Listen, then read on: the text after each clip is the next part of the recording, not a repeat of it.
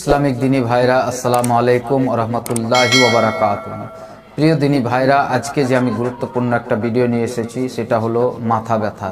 কিন্তু মাথা ব্যথার মধ্যে ভাগ আছে, তার মধ্যে কারও দেখবেন বাম দিকে ব্যথা হয়, কারও ডান দিকে ব্যথা হয়।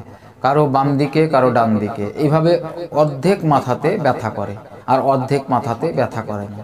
যার ব্যথার কারণে সে থাকতে পারে না। তাহলে বহুত মেডিসিন নেওয়ার পরেও দেখা যাচ্ছে সেই মাথা ব্যথাটা দূর হচ্ছে না। তাহলে কি করতে হবে? আপনাকে মাথা ব্যথা, অর্ধ মাথা ব্যথার জন্য একটি সুরা কাউকে পাঠ করিয়ে আপনার মাথার মধ্যে ফুঁক দিতে হবে। সুরা ইখলাস, যেটা তিনবার পড়লে এক খতম কোরআন শরীফের নেকি পাওয়া যায়। সেই সুরাটা হলো সুরা ইখলাস।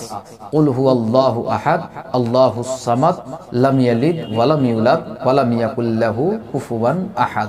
এটা বিসমিল্লাহ সহ আপনি তিনবার পাঠ করে অর্ধ মাথা যার ব্যথা করছে, তার মাথাতে ফুঁক দিয়ে দেবেন। যেই দিকে ব্যথা করছে, সেই দিকে ফুঁক দিবেন। এটা তিনবার, আপনি সাতবার এগারো বার আপনি পাঠ করে ফুঁক দিতে পারেন। আর এই ব্যথা যখন আপনার আরম্ভ হয়ে যাবে, সঙ্গে সঙ্গে আপনি একবার দুরুশরী পাঠ করবেন। দুরুশরী পাঠ করে তার অর্ধ মাথা যেই দিকে ব্যথা করছে, সেই দিকে ফুঁক দিবেন। তারপরে আপনি বিসমিল্লাহ রহমান রহিম পড়ে এই সুরাই ক্লাসটা হয় তিনবার পাঠ করলেন, ফুঁক দিলেন।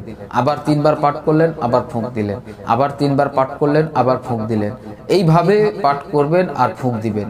দেখবেন যে তার মাথার ব্যথা, অর্ধেক মাথার ব্যথা দূর হয়ে যাচ্ছে। আর জিজ্ঞেস করবেন সেই রোগী ব্যক্তিকে সেই যার ব্যথা করছে সেই ব্যক্তিকে জিজ্ঞাসা করবেন, আপনার ব্যথা কিছু কম হলো? যদি কম না হয়, আবার আপনি তিনবার সুরাই ক্লাস বিসমিল্লা সহ পড়বেন, আবার তার অর্ধেক মাথাতে ফুঁক দিবেন। এইভাবে যখন আপনি এগারো বার ফুঁক দিয়ে দেবেন, তখন দেখবেন ইনশাল্লাহ আজিজ তার অর্ধেক মাথার ব্যথা ভালো হয়ে যাবে। কিংবা দেখা গেল আবার মাথার ব্যথা হচ্ছে, কিন্তু এই সুরা পড়ার মতন কোনো লোক নেই। তখন আপনি কি করবেন? আপনি হয়তো একাই আছেন বাসাতে, কিংবা বাড়িতে, কিংবা বিদেশে আপনি একাই আছেন, তখন আপনি কি করবেন?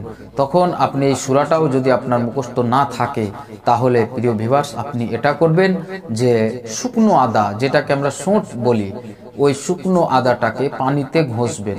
যেমন চন্দন কাঠ আপনার পানিতে ঘষে হ্যাঁ পানিতে ঘষে কিছু বের হয়, তেমনি ওই শুকনো আদাটাকে আপনি পানিতে ঘষবেন। ওই ঘষার পরে বহুক্ষণ ঘষার পরে ওই যা ঘষানো জিনিসটা যেটা বের হলো, সেই জিনিসটা নিয়ে আপনি যেই মাথা, অর্ধ মাথার ব্যথা করছে, হয় এদিকে করলে এদিকে আপনি লাগাবেন, আর এদিক ব্যথা করলে আপনি এদিকে লাগাবেন। এইভাবে যখন আপনি লাগাবেন, দেখবেন সেই ইনশাআল্লাহুল আজিজ আপনার মাথার ব্যথা দূর হয়ে যাবে।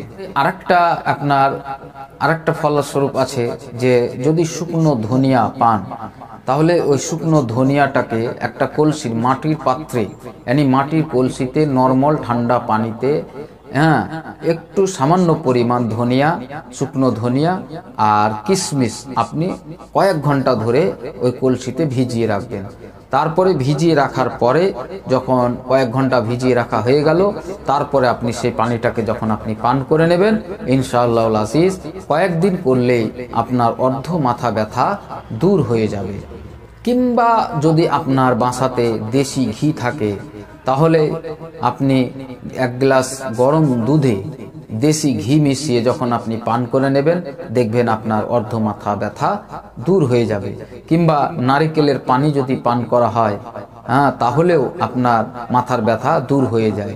নারকেলের পানি হয়তো যা অর্ধেক মাথা ব্যথা করে তারও কিংবা পুরো মাথা ব্যথা করে তারও আপনি ওই কি করবেন, নারকেলের পানি পান করে নেবেন। ইনশাআল্লাহ আজিজ দেখবেন আপনার মাথা ব্যথা দূর হয়ে যাবে। তো ভাই, বেরাদার, যদি এতেও আপনার মাথা ব্যথা দূর না হয়, তাহলে আপনার বহুত মেডিসিন করছেন, তাতেও যদি আপনার মাথার ব্যথা ভালো না হয়, তাহলে আপনাকে নিউরোলজিস্ট ডাক্তারকে আপনাকে চিকিৎসা করা দরকার। আপনার চোখ যখন আপনি চিকিৎসা করবেন, এই চোখের মাধ্যমে আপনার মাথার ব্যথা শুরু হয়ে যায়। যখন দেখবেন চোখ আপনি চেক করাবেন, যখন চোখ চেক করাবেন, তখন দেখবেন চোখের কোনো যদি ফল্ট থাকে, তাহলে হয়তো আপনাকে চশমা ব্যবহার করতে হবে। সেই চশমার, যদি যখন আপনি ব্যবহার করবেন তখনও দেখবেন আপনার মাথার ব্যথা ভালো হয়ে যাবে ইনশাআল্লাহুল